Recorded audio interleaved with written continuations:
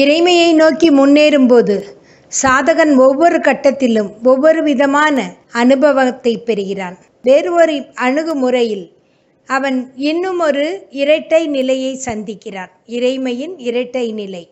முதல்ல பார்த்தோம் பிரம்மம் மாயை அப்புறம் புருஷன் பிரகிருதி என்ற இரட்டை நிலைகளை பார்த்தோம். இப்போ இன்னொரு அடுத்ததாக உள்ள இரட்டை நிலை ஈஸ்வரன் சக்தி. ஆக இந்த ஈஸ்வரன் ஈஸ்வரி என்ற அம்சத்தை சாதகன் தனக்குள்ளே இறைமையின் அந்த இரண்டு அம்சங்களாக தெரியும் அந்த நிலையை தனக்குள்ளே தரிசிக்கிறான். அவன் தன்னுள் உரையும் இறை அம்சத்தை தரிசிக்கிறான்.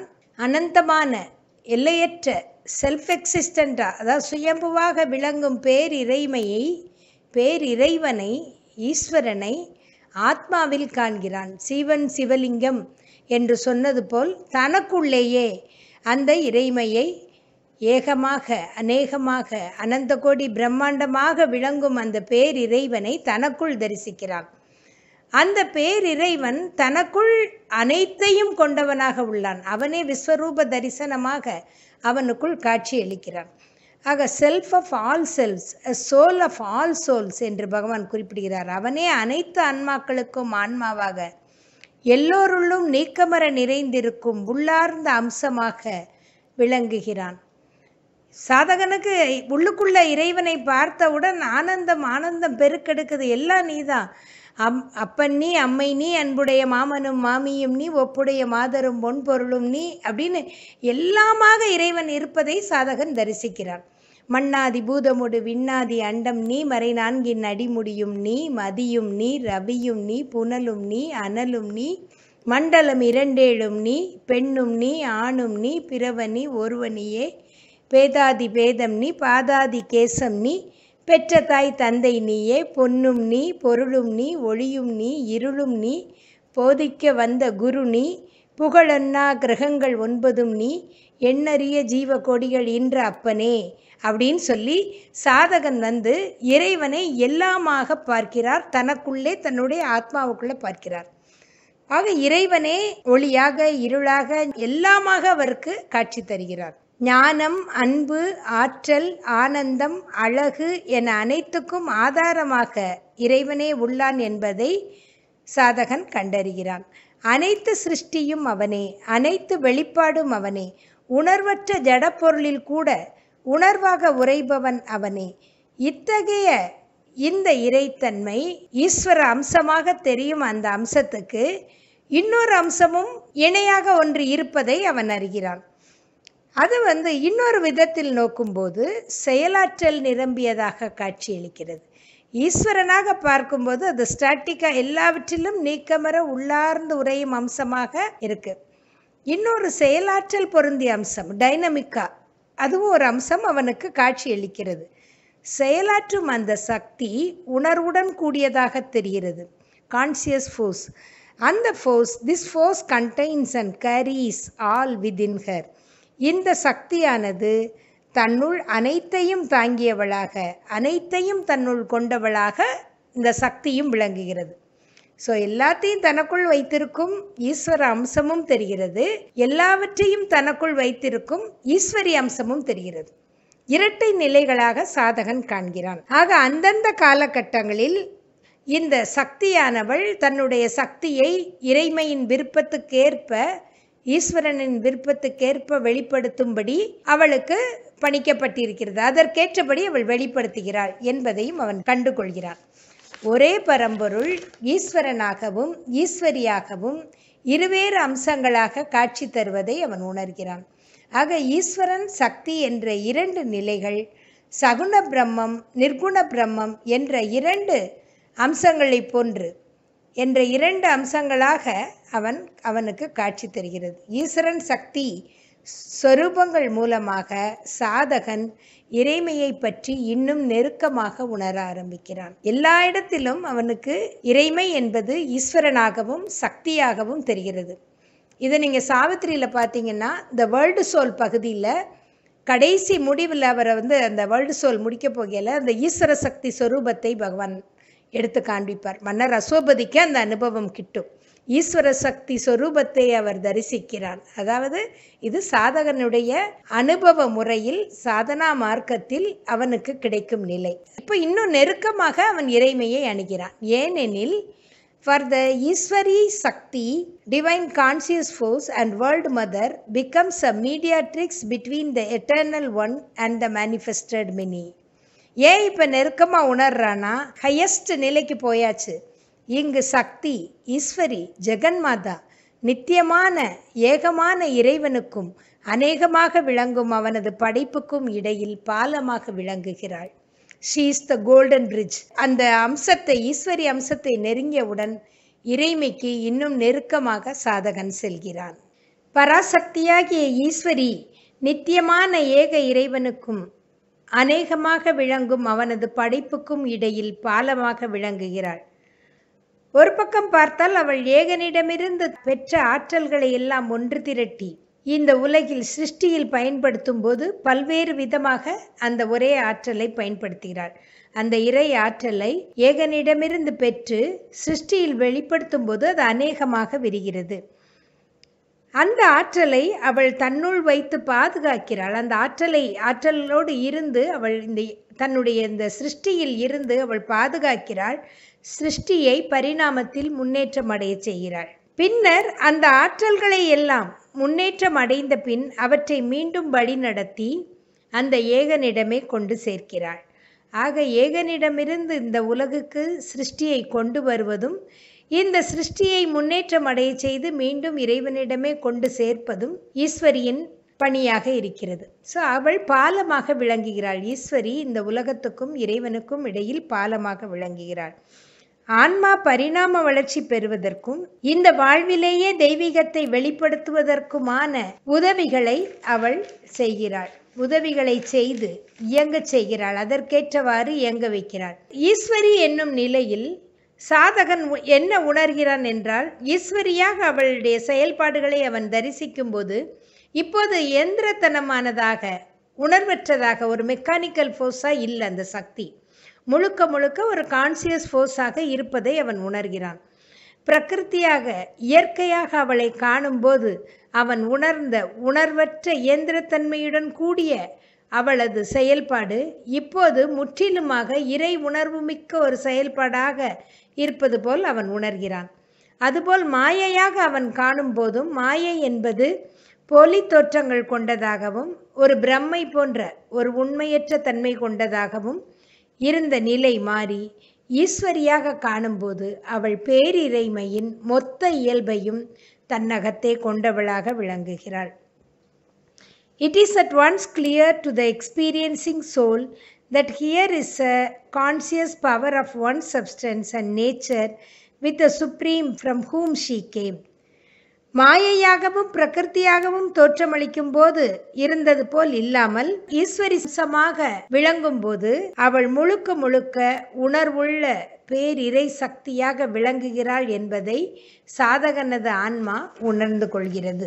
அவள் நம்மை அறியாமைக்கும் உணர்வின்மைக்கும் உட்படுத்துகிறாள் என்றால் அதற்கும் கூட ஒரு உயர்ந்த ஒரு நோக்கம் இருக்கும் என்பதை சாதகன் உணர்கிறான். சாதனா மார்க்கம் சாதனா மார்க்கம் சொல்கிறமே சாதனா மார்க்கத்தில் முன்னேறும் போது தான் நமக்கு பிரச்சனைகள் வரும்போதோ அறியாமை வரும்போதோ கான்சியஸாக நம்ம இல்லாத இருக்கும்போதோ அப்போ கான்சியஸ் ஏன் தவறுறோம் அப்படின்னா அது கூட நமக்கு திரும்ப ஒரு முன்னேற்றத்தை கொடுக்கக்கூடியதாக இருக்கும்.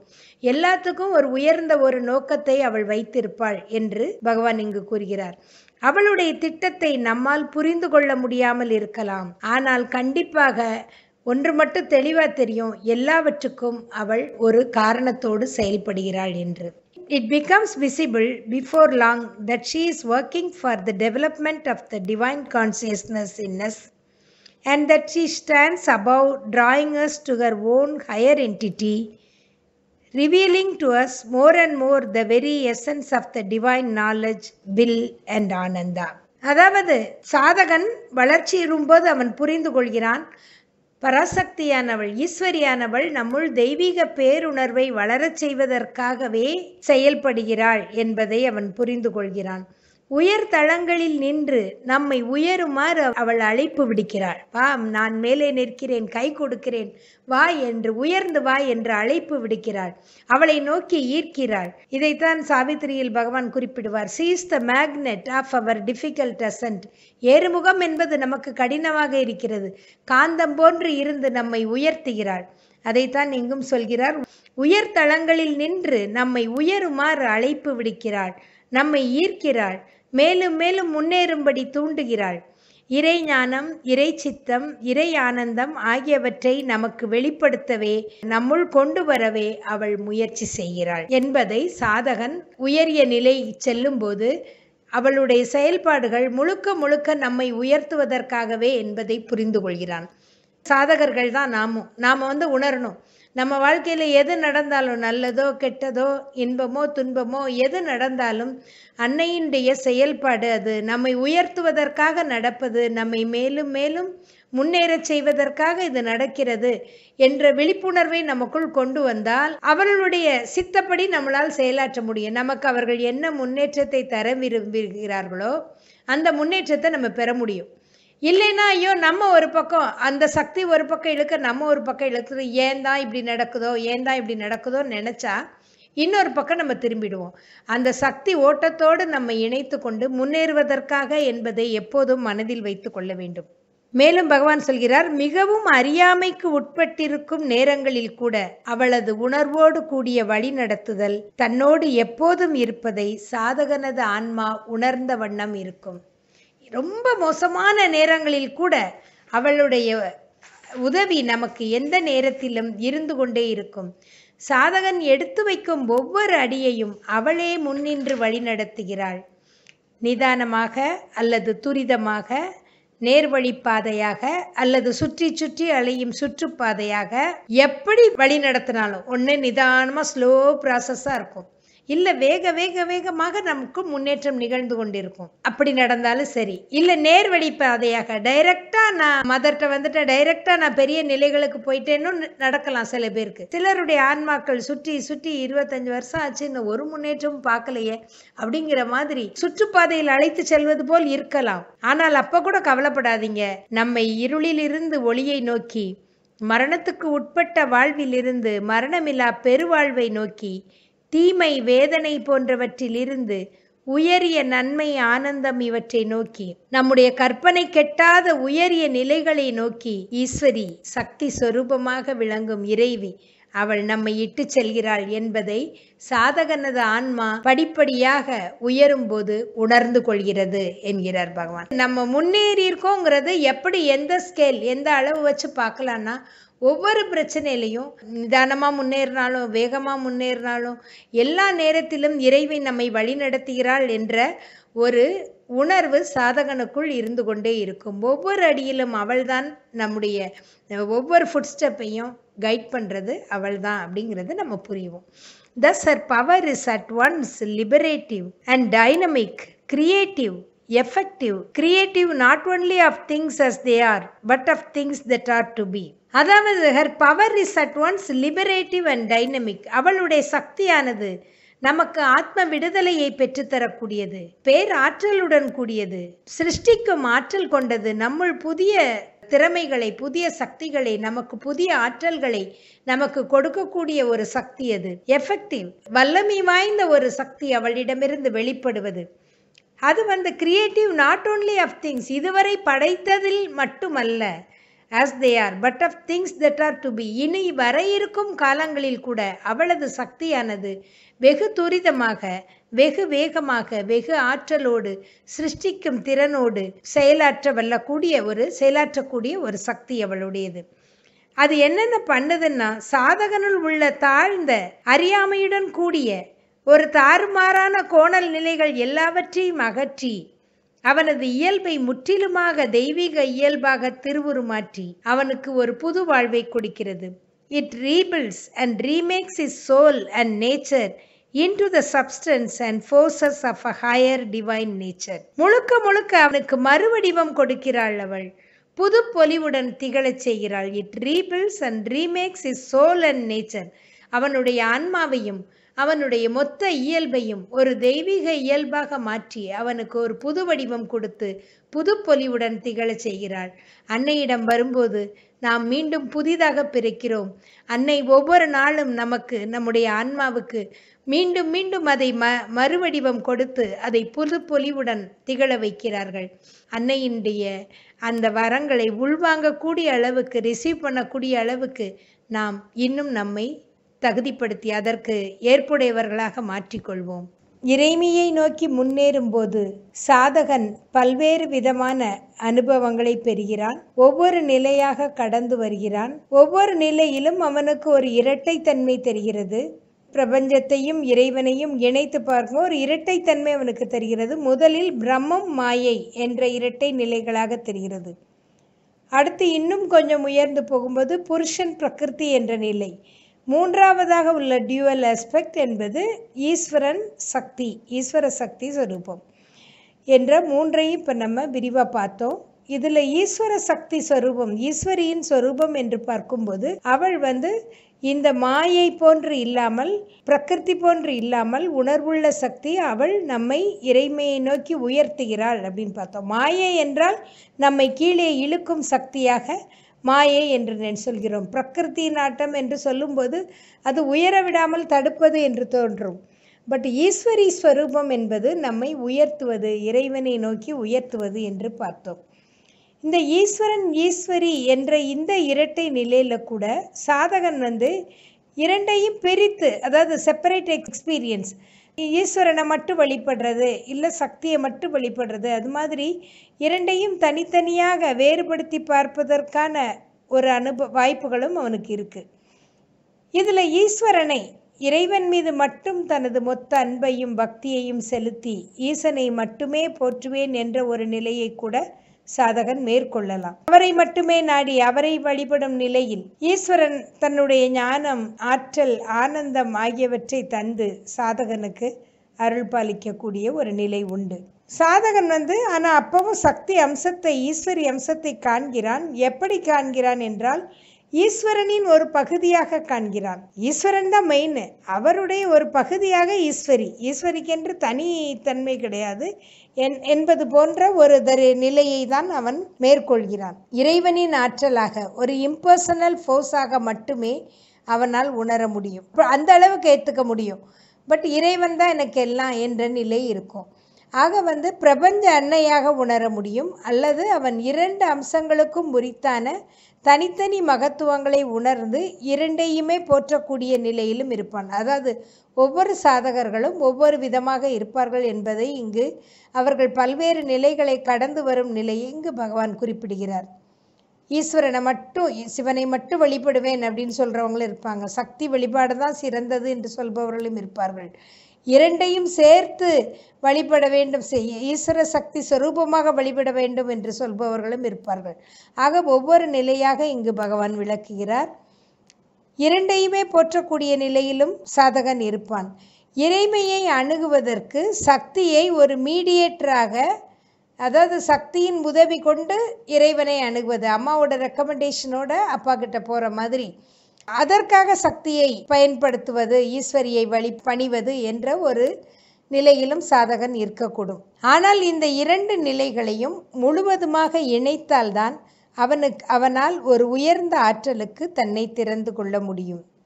ஈஸ்வர சக்தி சொரூபத்தை தனக்குள் முழுக்க முழுக்க அதை வேறுபடுத்தி பார்க்காமல் முழுக்க இணைத்தால்தான் ஒரு சாதகனால் உயர முடியும். அவ்வாறு செய்யும்போதுதான் அவன் ஒரு பூரணமான உயர்ந்த ஆற்றலுக்கு தன்னை திறந்து கொள்கிறான். அந்த ஆற்றல் தான் அவனை உலகாதைய குழப்பங்களில் இருந்து விடுவித்து அவனை இயக்கி உயர்ந்த இலக்கை நோக்கி இட்டு செல்கிறது. It is through this third and most dynamic dual aspect of the One that the seeker begins with the most integral completeness to enter into the deepest secret of the being of the Lord of the sacrifice.